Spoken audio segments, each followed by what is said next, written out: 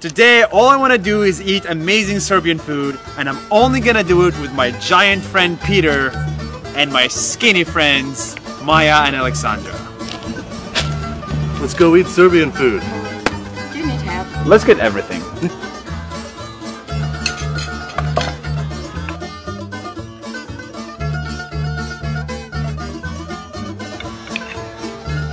Okay, I'm gonna eat with my hands, sorry.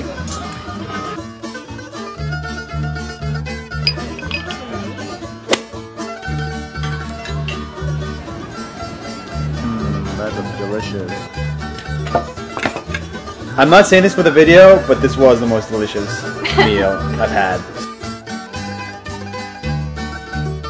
Rivali! That's mm. one minute. See you tomorrow.